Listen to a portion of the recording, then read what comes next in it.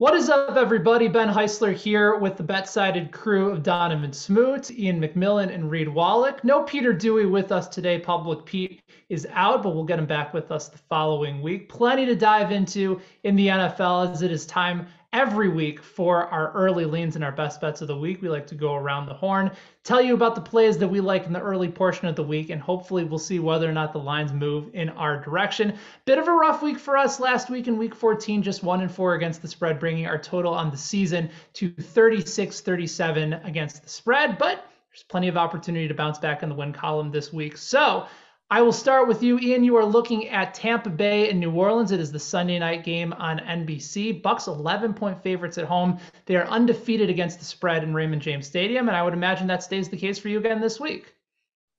Yeah, I'm going to take the Bucks to cover the 11 point spread here. Uh, to be honest, I wish both these teams could lose because I hate both of them. But if we got to pick one side, I'll go the Bucks minus 11. The Saints' biggest weakness, they're fantastic at stopping the run, but they're not good at stopping the pass whatsoever. 21st in the NFL in opponent yards per pass attempt, and nobody throws the ball more than the Tampa Bay Buccaneers. 66.51% of their plays are passing plays, so it's not a good stylistic matchup for the Saints team. And I just can't trust the Saints offense to be able to keep up uh, with current MVP betting favorite Tom Brady and the Buccaneers offense in this one. So I'm going to take the Bucks to cover the uh, the double digit spread on Sunday night. All right, Donovan, I head to you next. You're looking at an NFC East matchup in Philadelphia. Eagles are four and a half point home favorites against the Washington football team. They had won four straight, had an opportunity to close in on the Cowboys in their NFC East lead, control their own destiny, and now they no longer do so. But the Eagles coming off a bye, you like them at home. Why?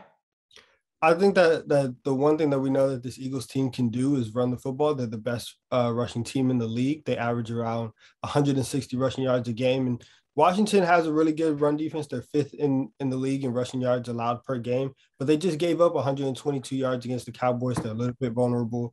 Um, Washington is also bottom 10 in opponent yards per pass and yards per play overall. This defense, the the rushing statistics make it look better than it is.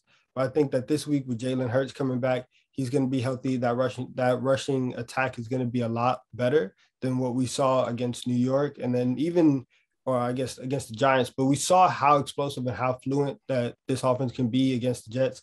Even if even if Hurts has to come out because that ankle isn't right, Gardner Minshew, he showed that he's he's competent, and this team can still you know move the ball up and down the up and down the field.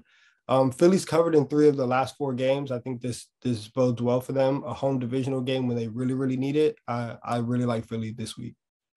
One article you can read over at BetSided this week is why the Cincinnati Bengals are, maybe getting a little bit undervalued this week. They are on the road against the Denver Broncos. They are one and a half point dogs in their matchup against uh, Denver. Both these two teams, right, sort of in the mix of one of those final playoff spots. Reed, you're going to that matchup. Who do you like there? Yeah, this is a kind of a winner go home game for the Bengals and Broncos. I have the Bengals as favorites in this game, so I took them to win on the money line plus 105. I, of course, also like them plus one and a half. And if you were looking in the look ahead markets last week, the Bengals were minus three in this game. So why did this line shift four and a half points? Joe Burrow's finger didn't look to be an issue in that near victory over the Niners. Of course, the Bengals lost in overtime, but Burrow looked great. Few uh, clutch throws, threw for over 300 yards and the Broncos. They beat a beat up Lions team that nearly couldn't field a full roster. So again, this seems like an overreaction in the betting market. I'll take the better quarterback. I'll take the better team. Uh, give me Bengals to win this one outright.